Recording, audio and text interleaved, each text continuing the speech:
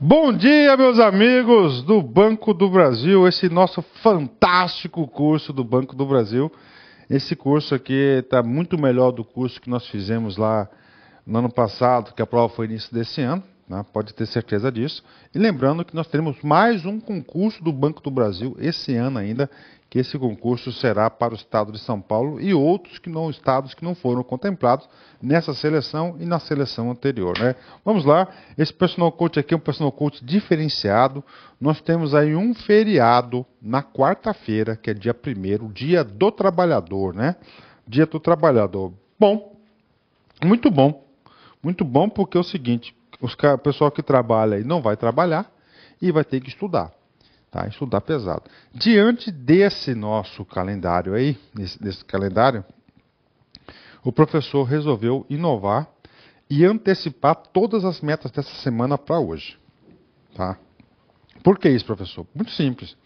Eu terminei o projeto pedagógico de vocês, ou seja, o professor já sabe quais serão as aulas que nós iremos estudar até o dia da prova. Então, isso aí já é uma coisa tá isso aí tá bem tranquilo, cara, bem tranquilo mesmo, né? Bem tranquilo mesmo. Então a gente já sei quais são as aulas que nós iremos gravar lá, né? Outra coisa, cara. Outra coisa. Então com isso, o professor com esse planejamento, eu já fiz todo o escalonamento das aulas. Recado para vocês. Vocês da turma 2, aliás, da turma 1, um, vocês estão tranquilos na foto. Tá certo? Bem tranquilos, tenho certeza disso. Por quê? Porque a prova é no dia 26 do 5.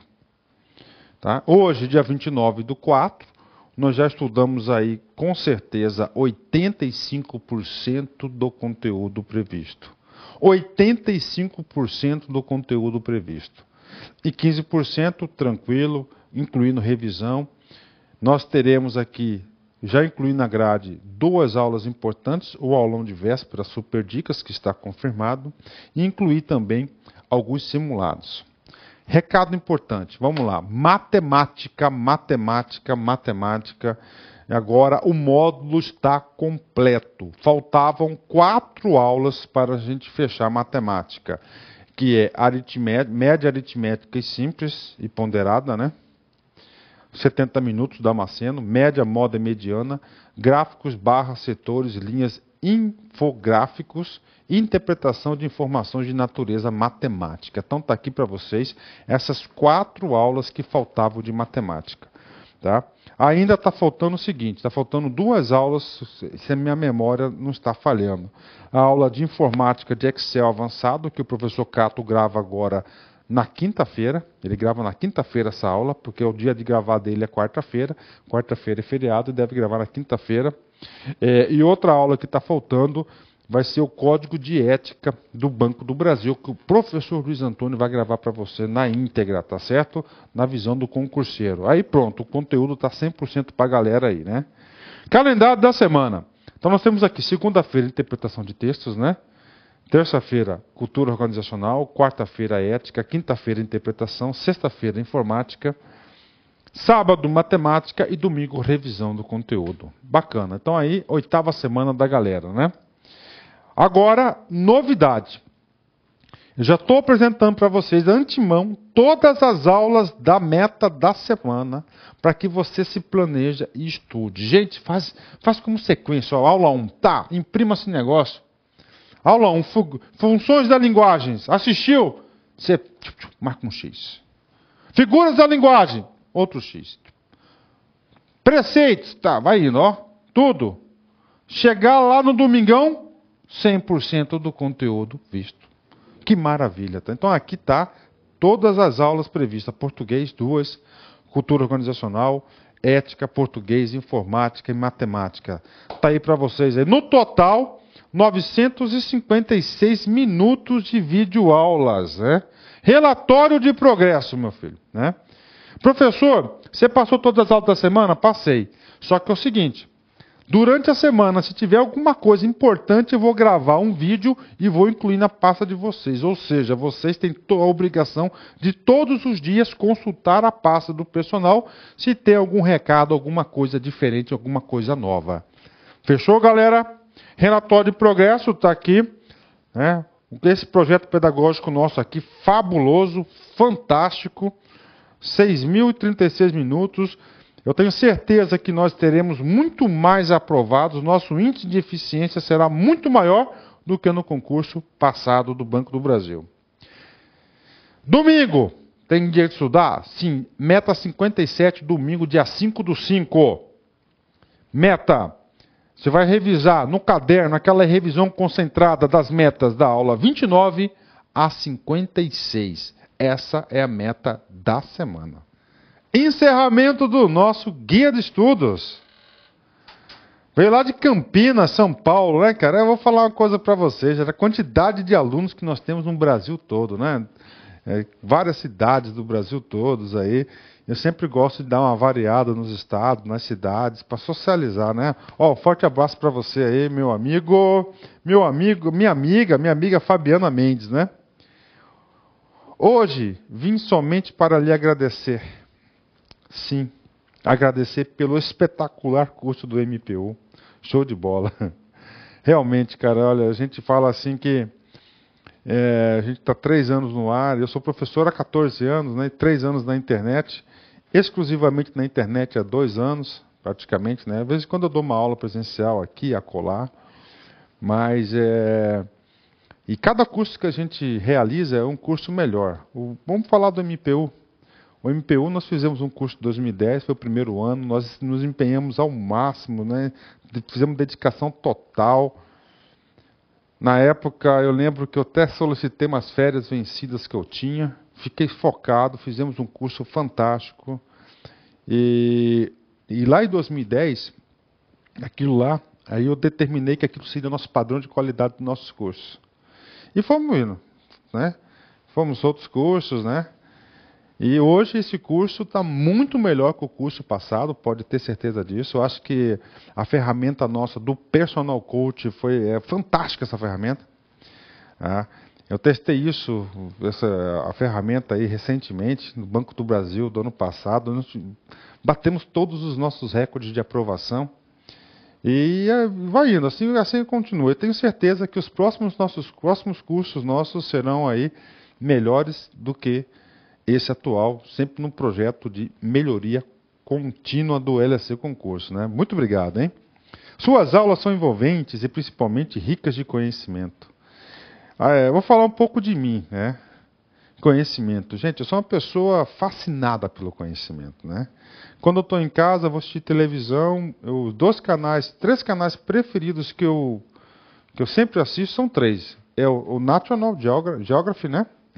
o Discovery e o History, o History, né? O History 55. O History é fantástico, né? Quando ele passa algumas histórias, é, alguns documentários aí, eu assisto todos, né? Todos não, quando tenho tempo, né? Então são os três canais, eu gosto muito de conhecimento. Valeu, obrigado, hein? Não sei qual será o meu resultado nesse concurso, mas com certeza irei muito competitiva. Isso, a nossa missão aqui é deixá-los competitivos. Eu sempre falo isso. Tá? A gente faz de tudo para deixá-los competitivos. A aprovação é uma consequência e depende de outros fatores. Adorei assistir às suas aulas. Agora começarei as aulas dos demais professores. Um forte abraço, Fabiane Mendes. Fabiano, um forte abraço. Muito obrigado por compartilhar o seu e-mail.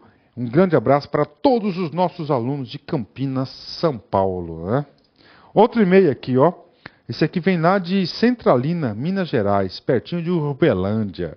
Anchieta Júnior, olha, esse cara aqui é marqueteiro, cara, o cara colocou LAC igual motivação igual aprovação, né? É, eu vi alguns vídeos na internet, né, de um cara aí, rapaz, ele ele falando, defendendo no vídeo dele que que o cara para estudar para concurso não tem essa de motivação não, que motivação é 10% só errado. O cara motivado move montanhas, supera os seus limites. Potencializa. Você sabe, aqui no LAC Concursos, que você, o seu objetivo ao estudar não é ficar estático vendo o vídeo, não, porque isso não vai te levar a lugar nenhum, cara. Tá? Não vai levar você a lugar nenhum. O objetivo é você assistir com qualidade, parando o vídeo, fazendo as anotações, ou seja, fixando o conteúdo. Por esse motivo que até hoje nós não lançamos curso ao vivo. Nós temos estrutura para isso? Claro, nós temos uma plataforma tecnológica, uma das maiores do Brasil, pode ter certeza disso. Mas por que não? Porque ao vivo o cara não pode parar o professor, ele fica restrito àquele horário, não sei, essas coisas aí. Então isso é importante, cara. Isso é importante demais. Então, na motivação, você sabendo aquilo que você quer, você potencializa seus estudos. E, consequentemente, é aprovado. É, eu já me deparei nessa vida de concurseiro com muitos alunos que, que eles não, não entendiam por que, que eles eram reprovados para concurso. Né? E conversando com eles, eu percebi, eu, um dia falei para eles, você sabe por que, que você tem que você até agora não foi aprovado ainda? Você não foi aprovado, meu filho? Ah, por quê, professor? Porque você não acredita, cara. Você não acredita. Você tem uma autoestima baixa. Você acha que isso é impossível, que isso acontece com os outros. Se, ora, se você já colocou no seu modelo mental que você não vai conseguir, que isso não é para você, que isso é só para os outros, você vai passar? Pode passar, mas você vai demorar muito tempo, cara. Então você tem que retirar essas barreiras e falar o seguinte: a aprovação é consequência, meu objetivo é ficar competitivo. Então a motivação ela é sempre importante. Professor Papo Reto, você é um monstro de ensino. Além de dar aulas com excelência, é um motivador nato. Cada dia que passa, minha que passa, minha confiança aumenta. E isso é importante. Agora, essa confiança, gente, por favor, Preste atenção no que eu vou falar para vocês. Você tem que ter a humildade. O que, que é a humildade? De reconhecer que você não sabe tudo, ó, e estudar. Por isso que os caras humildes passam em concurso.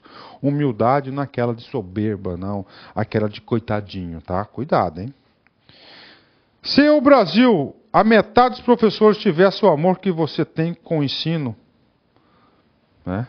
o Brasil, sem sombra de dúvidas, ia se tornar o primeiro mundo rápido. Minha confiança está tão grande. Se cair na prova, o que o melhor. É, se cair na prova, quem é o melhor câmera do mundo? Vou marcar Paulix. Olha aí, Paulix é o cara, né? Rodolfo, tá ouvindo aí? Então é o seguinte, ó. Separa uma foto aí do Paulix aí. Tô, tô conversando com, com o pessoal aqui da, da, da edição aqui. Pessoal, né? Coloca uma foto do Paulix aqui, entendeu? Copiou? Já coloca aí para o pessoal conhecer aí, ó. Quem é a melhor câmera do mundo, vou marcar Paulix, hein? Paulix é o cara. Sou de Centralina, Minas Gerais, pertinho de Urbelândia. Manda um abraço para minha cidade no Personal Coach. Desde já, muito obrigado e parabéns. Você tem um dom muito especial. Continue assim, você merece. Valeu, garoto. Muito obrigado, hein? Né? Pronto, vamos fazer um encerramento. Você lembra que eu sempre peço para os alunos mandarem para mim um e-mail com encerramento? Eu recebi esse e-mail aqui, só que eu esqueci aqui o nome dela, cara. O nome do aluno, da aluno, aluno não sei, né? Vamos lá, vamos ler lá. Eu sei que veio lá do Vitória, Vitória Espírito Santo. Recebo todos os dias mensagens do Padre Marcelo. Gosto muito, pois sempre me passa uma força especial assim como seus incentivos de continuar sempre. É claro que o dia a dia é muito que o dia a dia é muito difícil para todos que têm esse objetivo de passar em um concurso público e confesso que às vezes me sinto desanimada, pois gosto das mudanças rápidas. O que nem sempre acontece. Hoje recebi essa mensagem e para minha surpresa era o que eu sentia hoje quando acordei. É muito gostoso, né, gente? Quando você acorda, você lê uma mensagem daquilo que realmente você estava precisando. Essas palavras me deram força para seguir o meu caminho e sonhos. Espero que goste, prof. E possa ajudar outras pessoas também. Essa mensagem veio com um texto. Então, fiz uma imagem com a foto do padre Marcelo. Autorizo a divulgação. Um forte abraço a todos do OLAC. Valeu, obrigado. Vamos lá. Desejo que vocês não tenham medo da vida. Tenho medo de não vivê-la. Não há céu sem tempestades e nem caminhos sem acidentes. Só é digno no pódio, só é digno do pódio quem usa as derrotas para alcançá-lo. Olha só, só é digno ao pódio, ou seja, somente aquele que vence o primeiro lugar. Quem usa as derrotas para alcançá-lo, se aprender com as derrotas, né? aprendendo com as derrotas, você chega lá. Só é digno da sabedoria quem usa as lágrimas para irrigá-la. Os frágeis usam a força, os fortes a inteligência. Sejam sonhadores, mas una seus sonhos com disciplina, pois sonhos sem disciplina produzem pessoas frustradas. Não perca a motivação. Linda mensagem. Forte abraço, fique com Deus e até a próxima. Tchau, tchau.